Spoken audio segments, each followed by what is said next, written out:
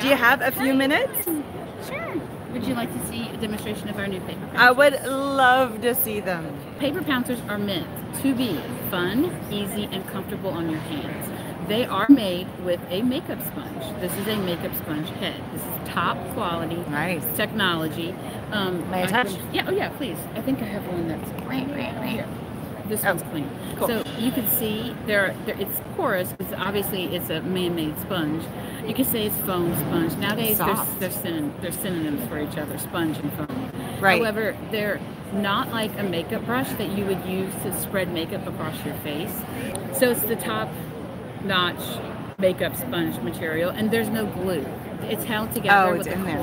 So it won't pop out. So it's not just going to pop out. And if it does pop out, you can pop it back in. Because Oh. I actually, of course, you know, since it's mine, I sat there and tried to destroy it as much as possible. And I finally got it out and then brought it back to my husband and said, okay, now put it back together. And it went right back in. I can't even tell which one it is. Oh, so watch how fast. So I'm going to do this leaf real quick. And this is a primed sponge. I am using, this is ink on three, which is a reactive dye ink. But we tell people use any ink you like that is water based. Mm. So, you know, you could use hybrid, it is water based. However, hybrid has proper, it, you know, you're going to get your best results out of oxide, pigment, and dye. Okay, so you saw how fast that was. Yeah, that is speedy. completely done. So that's just like my base coat. So now I'm going to come back with a lighter green. I did not bring any, I only brought like 12 ink pads. I, I don't know what I was thinking. I mean, where I thought I was going to go with 12 ink pads. So I'm just adding a second layer.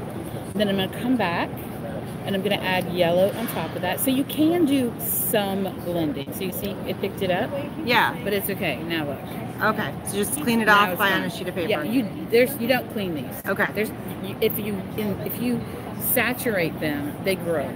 Okay. If you want bigger ones, okay. If you want bigger ones. no, I'm yeah, good. yeah, I'm me good. too. Good. No, I'm good. any- yeah. So um, they will grow. However, it will shrink back down. But it takes Okay. like three days for it to completely dry. So don't leave it in its little caddy because we all know what happens to stuff that you put airtight. Yeah. Okay, so I can come back in and I can pounce back on top of it to get a little bit more of a blend going on. I can remove that and then come back in with my other green and you know you just kind of play around with it, right? Is I just said don't wet them, right?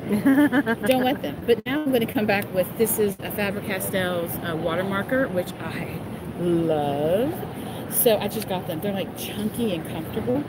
I bought them at, um, so I'm just moistening it. Right. Just a little bit. So I'm going to put a little bit of water. Okay. You don't want to overdo it. It's not like you want to dunk it in water to try and clean it in the sink. Yeah. So just doing that and picking up a Ah. little bit of watercolor. And I mean, even that, it'll eventually come off. So just coming in here and pouncing. So definitely don't take these to your sink and try to clean them no, when you're done you using don't, them. don't clean them. Absolutely There's- not. I mean, Yeah. okay, you know what? If you want to go wet them, fine, wet them. But they're going to grow.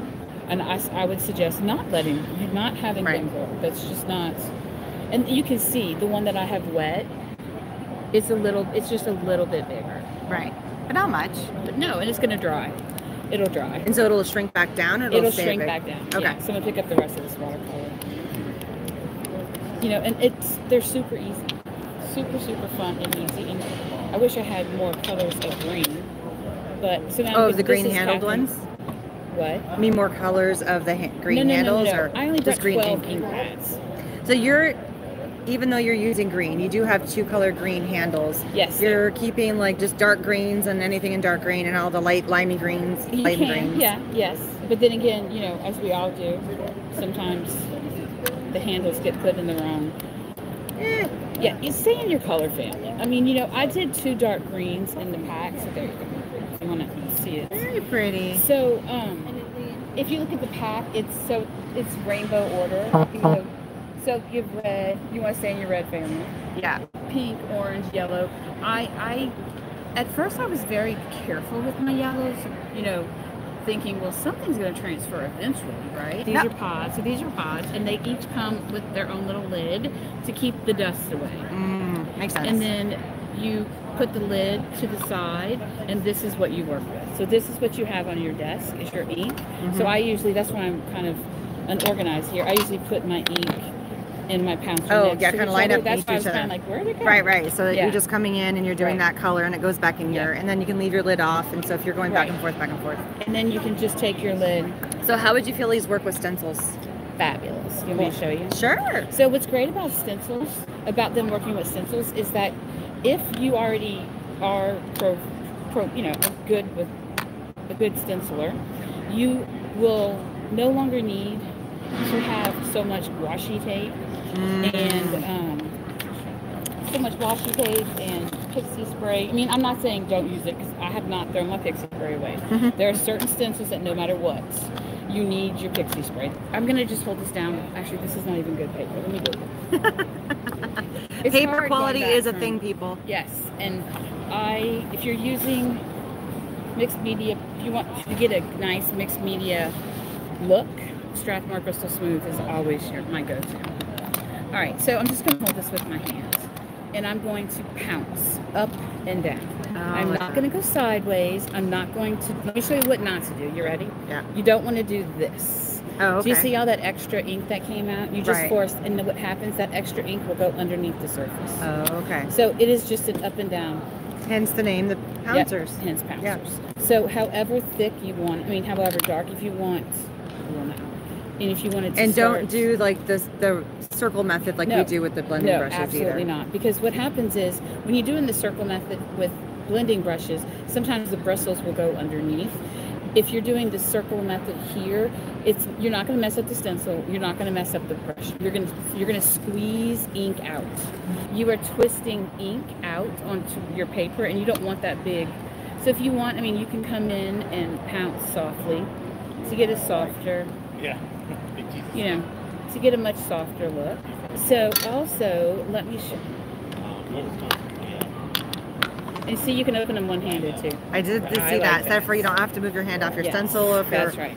So right. let's talk about the concept of blending. Okay. If you're using colors that are naturally blended colors that naturally will blend themselves, like green and blue, you will be able to have some blending happen. Mhm. Okay, that's why I'm purposely picking this blue. And you'll see, you can see it already that you're going to start getting like a jade Mhm. sort of bluish color. So again, the, the darkness is how heavy-handed you are. Right. It's all about.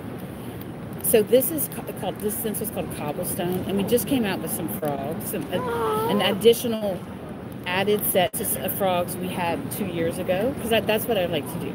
I don't want to just go create another frog. I want my frogs that I had before doing different things, so you Mhm. can add your existing frogs with your new frogs, right? Right, right, right. So I'm. I, I, this is let your new- frogs multiply and be happy. yeah, your frogs. so now we have another one where our frogs are they're like in little scenes for you.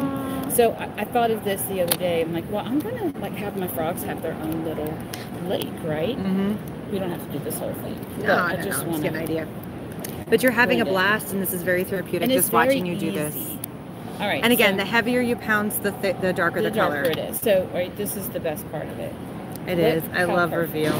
I mean, I love the but, reveal. uh, there's no tape. There's no glue. There's no magnet. Right. There's it no just lifts up, and you're good to go. You're just good to go because you're pouncing Right. up and down and the sponge is so soft that it doesn't pick up and if this is this is not a very detailed stencil just because I've been doing this so many times I picked one a little easier but your detailed stencils are not going to rip your sponge That's good.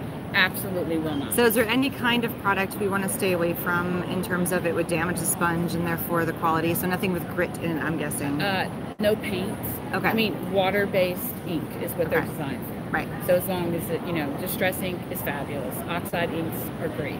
Catherine Pooler, Gina K. Any water-based ink. You could uh, reactive inks like um, Hero Arts reactive inks work fabulous.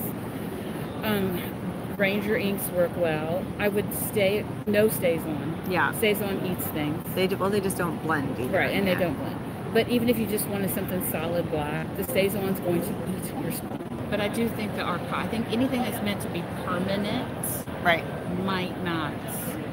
Got it. Okay. But I don't know. I don't know. I haven't been Yeah. able to get I mean, it, that's I mean, I've used. And I'm guessing as people are getting them, they'll send you feedback. Yeah, and they will. And you, they, they always tell me, oh, Nicole, I worked with this. Yeah. Oh, good. I'm glad I was wrong. but I would stay away from paint. And that's just, you know, common. And even your own paints too. Even my, yeah, my, my glazes dry so fast. Yeah. You will not have time to get that sponge. and then you said you don't want to take it under the water and really clean it very well. Right. I mean, yeah. you don't need to. If you want to clean it and it makes you happy to clean you know what? Just put the lid back on top of it, and now the gunk, the dirtiness is all gone. But if you want to wash it, you know, go rinse it under the sink. You're using dye ink. It's just gonna. Right. There'll always be stains. It's just the way. They're tools. Yeah. I used to always tell my students, they're not heirlooms. They're tools. We want them to be our children's heirlooms, and they Yeah, love they them and protect Well, my daughter life might have a different opinion on that. Right. She loves all my stuff. right? but you know, there there are tools. Yeah. Right now in the presence, you know, Awesome. protect everything as best you can, and you do. You cannot mix them between different types of inks. Like you cannot use oxide ink with the sponges and then stick them into your dye ink pads. Right. That's not. They're not going to hurt the sponge. You're going to destroy your ink pad. Right. So if you tend to, if you're, if you're going to have different kinds of inks that you want to daub or that you want to Yes. quote unquote blend with or yeah, pounce if with, you, if then have a couple of oxide- different If you're an sets oxide girl, then I would say get one set for oxides. and use your oxide. And Right. then you're like, oh God, I love these. Okay, then go buy a set for your dyes. Right. I'm not an oxide girl, so just because I live in South Louisiana and it's so humid, It takes forever that to dry. It takes forever, and it's like, it's like paint. Yeah. it's like thick like paint when I try to, like if I had done this, I mean it would have just gushed out because Ugh. we oh. just have so much humidity. Well, thank you so much for the demos. Is there anything else that we want to go over? Or, I mean, I am mean- I'm happy with the pouncers, so I'm yeah, good. that's good. Yeah, I mean, you can, obviously we have new stamps and dies and stencils and Yeah. embellishments. And Of course. Got to have all the new stuff too. But I'm loving the new tool. This is amazing. And I can't wait to play with some sometime. All right, good deal. Thank right. you. Bye, guys. Have a good afternoon. I'll see you later.